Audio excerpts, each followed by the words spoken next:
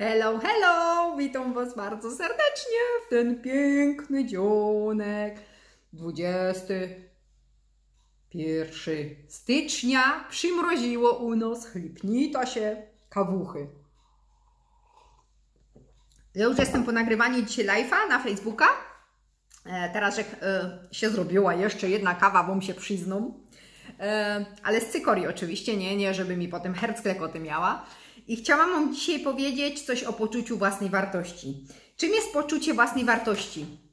E, to nie jest e, zapatrzenie w siebie, wielbienie się, hołbie, się, jako to jestem cudowno. Wiecie, poczucie własnej wartości to jest wiara w siebie przede wszystkim. E, dużo z nas zapomina o tym, że to my jesteśmy w naszym życiu na pierwszym miejscu. E, zazwyczaj jest tak, e, że wszystko w koło jest ważne. Ważne jest, e, czy mamy posprzątane w doma, ważne jest, czy kosz na pranie jest pusty. Ja przynajmniej tak dużo część mojego życia miałam, że dowartościowywałam się tym, że ogarniałam wszystko na najlepszym poziomie. Ja musiałam mieć zawsze posprzątane, kosz na pranie pusty, bo mam taki głupi fimel. Wszystko musiało być zrobione na, na cycuś glancuś, nie? I na wieczór, jak jak padnięto jak Messerschmitt, kładłam się spać, ale taką gdzieś ta satysfakcja miałam i nie miałam czasu poćwiczyć, nie miałam czasu czegokolwiek dla siebie zrobić, bo wszystko to w koło było ważniejsze. I zazwyczaj u nas jest tak, że my zajmujemy się wszystkim w koło, a tak naprawdę nie zajmujemy się sobą, ja? I, i to są nasze, to są po części wymówki, ale po części też takie te poczucie, że jak ja tam siebie na pierwszym miejscu stawiać, to to jest złe. To, co sobie inni pomyślą. Wiecie co, zapytalibyście kogoś z mojej rodziny, czy ja teraz, jak stawiam siebie na pierwszym miejscu, jak przestałam pić, jak schudłam, czy im jest teraz ze mną gorzej? Nie, mi się wydaje dużo lepiej. Jeden minus jest taki, że jestem y, trochę częściej mnie nie ma w domu, ale tak jestem szczęśliwym człowiekiem, bo ja teraz siebie stawiam na pierwszym miejscu. I ten kosz na pranie, no i później na wieczór znowu będzie pełny. Więc jak ja teraz powiem stop, świat poczeka. Ja nie muszę, ja chcę, chcę zadbać o siebie. Ino dzisiaj chcę iść na spacer, bo ruch powoduje ruch. A dbając o wszystkich w koło, a nie o siebie, o swoje zdrowie psychiczne i fizyczne, e, prędzej czy później się złam, łamiemy się. E, ja Wam powiem, w tym moim takim całym kieracie kiedyś, taką moją odskocznią to było czasami się tam chlipnąć tego wina, zrelaksować się, bo jednak mam tyle obowiązków, ale ja bym może wtedy na to nie wpadła, żeby się kurde ruszyć z tą życiem, żeby iść na spacer, żeby zrobić coś dla siebie że te pranie może poczekać, bo świat może poczekać i on się nie zawali. Jeżeli ty pół godziny do godziny zajmiesz się dzisiaj sobą, wygospodarujesz ten czas dla siebie. Z braku czasu dla siebie jesteśmy łospałe, popadamy w stany depresyjne, jesteśmy bardziej drażliwe, wszystko nos wkurwio, wyżywamy się przy tym na dzieciach i na naszych bliskich. Yy, Zajmijmy się w końcu sobą, stawiajmy się na pierwszym miejscu, bo miłość do samego siebie jest kluczem do sukcesu, do tego, co się później w Twoim życiu będzie działo. Tylko postaw siebie na pierwszym miejscu i to nie jest samolubny. Yy, uwierz w siebie, że możesz osiągnąć wszystko tak naprawdę, tylko wszystko siedzi w naszej głowie. Ja, ja Wam jeszcze ostatnio zapomniałam powiedzieć, że ja się uczam, yy, już dzisiaj będę miała drugą lekcję angielskiego i uczy mnie moja córka 12-letnią bo sobie postawiłam cel. W tamtym roku dopłam kilka rzeczy do końca, szafnęłam to. Angielskiego mam 37 lat, uczę się całe życie, e, dwie, trzy lekcje i na tym się kończy. Mój słomiany zapał, ale teraz mam plany, teraz mam cele i głośno o tym mówię. W przyszłości wybieram się do Ameryki, na Floryda chcę lecieć, więc chciałabym podstawy angielskiego znać.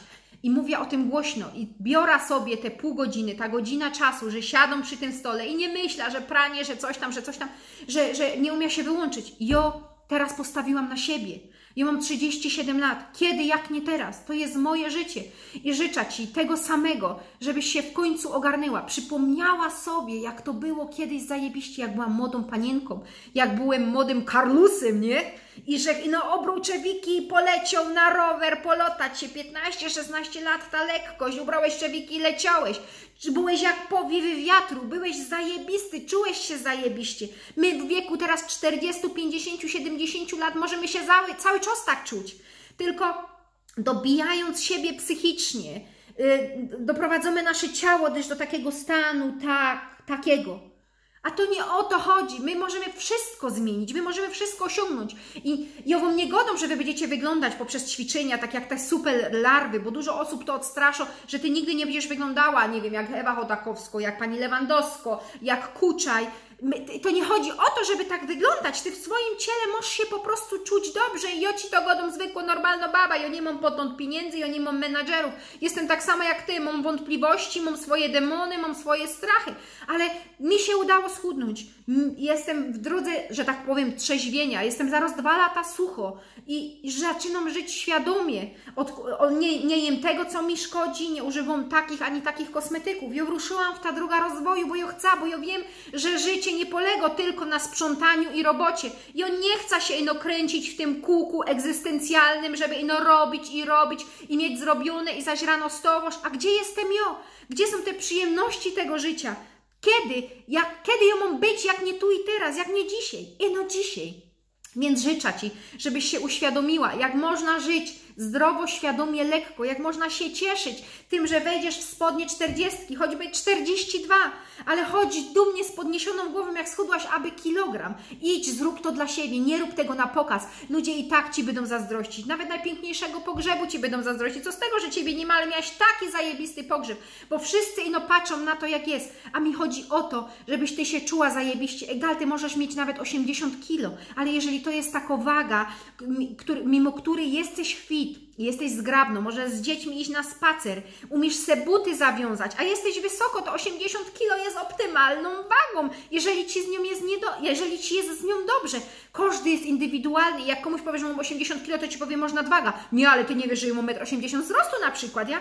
Zrób to dla siebie, zrób to indywidualnie i pierdziel wszystkich w koło. Pierdziel to, co inni powiedzą. Żyj tu i teraz, ciesz się tym życiem, ciesz się tymi małymi rzeczami, wynagradzaj się, sprawiaj sobie przyjemność. I no dzisiaj, bo życie jest takie cudowne, tylko my w tym całym, w tej całej pogoni zapominamy o tym wszystkim. Więc walczcie o siebie każdego dnia, zróbcie coś, co jest piękne, Rozwijajcie się, idźcie na ten spacer, bo ruch powoduje ruch i dziennie bym to byda powtarzała. A teraz uciekam, trzymajcie się, życzę Wam cudownego dzionka. Ja też muszę uciekać do roboty, bo jak się nie jest y, wielką gwiazdą, nie jest się bogatym, to trzeba pracować, żeby na rachunki było. I właśnie tako jestem i cieszę się, że mogę iść, bo mi przynajmniej szajba do łeba nie odpierdala. tak?